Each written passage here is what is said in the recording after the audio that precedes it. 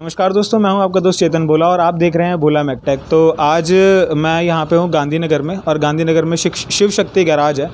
और उनके गैराज में खड़ा हूँ, सामने गाड़ी भी खड़ी है होंडा सिविक और आज हम देखेंगे मतलब इधर साइड में व्हील असेंबली खुली हुई है तो वो दिखाऊँगा आपको और उसमें बताऊँगा कि अगर आपके जब ब्रेक पैड घिसते हैं तो कैसे पता चलेगा कि कितने घिस गए हैं, कि आप बदल लेना चाहिए? और मेरे साथ एक भैया भी हैं, वो हमें सपोर्ट करेंगे, बताएँगे कि कैसे पता चलेगा कि इतनी देर बाद हमें ब्रेक पैड बदल लेने चाहिए। तो उम्मीद करता हूँ वीडियो अच्छी लगेगी आपको। वीडियो को अंत तक ज़रूर देखना। चैनल को सब्सक्राइब नहीं किया तो प्लीज़ चैनल को सब्सक्राइब कर लेना। और सामने आप देख सकते हो बोनट खुला हुआ है इंजन का और यहाँ से कई सारी चीज़ें दिख रही हैं जो कि हम लोगों को हमेशा ही अच्छी लगती है इंजन के अंदर की चीज़ जो इंजन का दिल होता है। अब आपको दिखाता हूँ यहाँ से आगे। तो आप यहाँ पे देख सकते हो ये है ना पूरा अपना व्हील असेंबली खुली हुई है।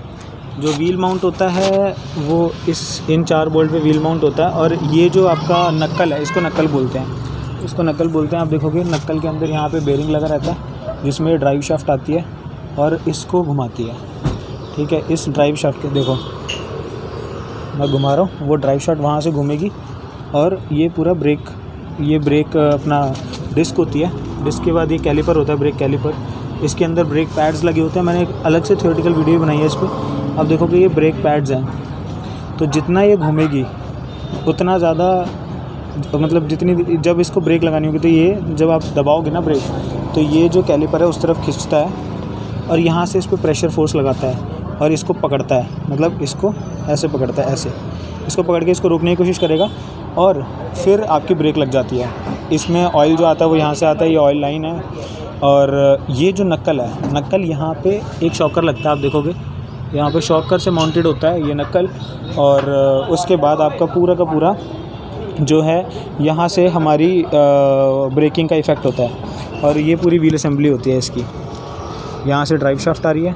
और ये पूरा आपका ब्रेक कैलिपर डिस्क ब्रेक ये स्टड्स होते हैं जिस पे आके रिम लगता है। अपना कुप्पा बोलते हैं इसे हम, इसको, जिस जिस, जो कि जिसमें आके अपना जो बेरिंग्स होते हैं इसके आके लगते हैं। इसकी लोअर आर्म है और ये हमारा है सस्पेंशन सस्पेंशन आर्म है ये हमारी, ठीक है? और आप ये देखोगे, ये अपनी टाई रॉड है। इसको टाई रॉड बोलते हैं। टाई रॉड क्या करती है? बेसिकली स्टेयरिंग में जो देती है ना, देखो जब स्टेयरिंग घुमाओगे तो ये ये चीज़ यहाँ से पुश करेगी इसको।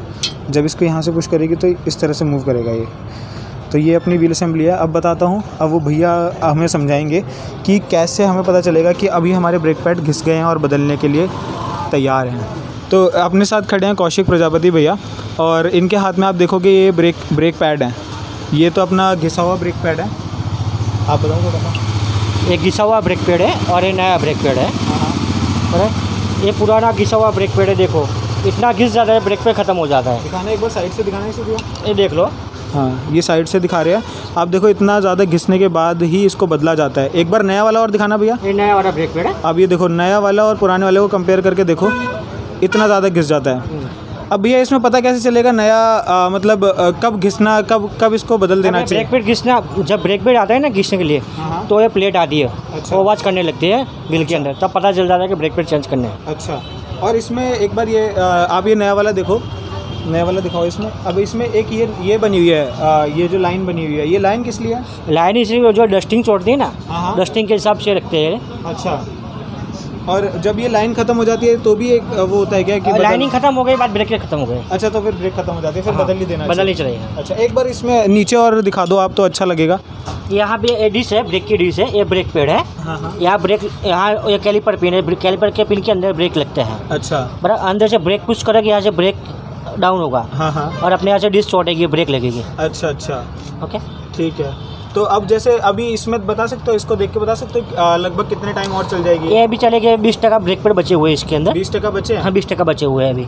अच्छा तो आप लोग कैसे मतलब ऐसे गहराई देख के बता देते हैं ना? हाँ गहराई देख के पता चल जाता है कितने हैं कितने अच्छा। इसके अंदर एक प्लेट पट्टी भी आती है पट्टी भी किसने लगती है? यहाँ डिस्का टच करेगी आवाज़ करने लगेगी। अच्छा पट्टी कहाँ पे होती है? अंदर ही आती है पट्टी यहाँ पे। अच्छा। ये रही ना पट्टी यहाँ पे। कौन सी है कौन सी? ये ये दिख रही है। ये वाली? हाँ ये वाली। ये ये ना ये? हाँ ये वाली। अच्छा ये जो पत्ती है? ये जो पत्ती है जब ये पत्ती अपनी इस पर टच होने लगेगी तो आवाज़ करेगी और आवाज़ करने के साथ ही पता चल जाएगा कि कब बदलनी है। तो दोस्तों आज आ, मेरे को लगता है आपको वीडियो देख के समझ में आ गया होगा कि कैसे हमें समझ में आता है कि कब हमें ब्रेक पैड बदलने चाहिए। कौशिक भाई ने बहुत अच्छे से समझाया हमें कि कब समझ में आएगा कि कितनी थिकनेस रह जाए उसकी और हम समझ सकते हैं कि अब ये ब्रेक पैड ख़त्म हो चुका है अब बदलने वाला है। और एक और इन्होंने नई चीज़ बताई कि आवाज़ आती है, वो एक पिन जो थी वो मैंने अभी तक मैंने भी नहीं देखी थी कि वो पिन कहाँ होती है। और वो पिन जैसे ही वो टच करती है ना उस ब्रेक डिस्क पे, तब आपका आवाज़ आने लगती है और उससे पता चलता है कि हाँ अब हमें बदल लेना चाहिए। तो उम्मीद करता हूँ वीडियो अच्छी लगी होगी। वीडियो अच्छी लगी हो तो प्लीज़ वीडियो को अपने दोस्तों के शेयर ज़रूर करना। चैनल को सब्सक्राइब नहीं किया तो प्लीज़ चैनल को सब्सक्राइब ज़रूर कर देना। और अगर गांधीनगर के आसपास कहीं रहते हो तो कौशिक भैया से आप मिलने भी आ सकते हो। और मैं इनके बोर्ड का जो फ़ोटो है और फ़ोन नंबर है वो यहाँ पर लिख दूँगा, नहीं तो डिस्क्रिप्शन में इनका ज़रूर दे दूँगा, जिससे कि आप इनसे डायरेक्टली कॉन्टैक्ट कर सकें। धन्यवाद दोस्तों मेरी वीडियोज़ को देखने के लिए। यू मेरी वीडियोज़ को देखते रहिए शेयर करते रहिए सब्सक्राइब करते रहिए। बस इतना ही तो चाहिए। धन्यवाद दोस्तों।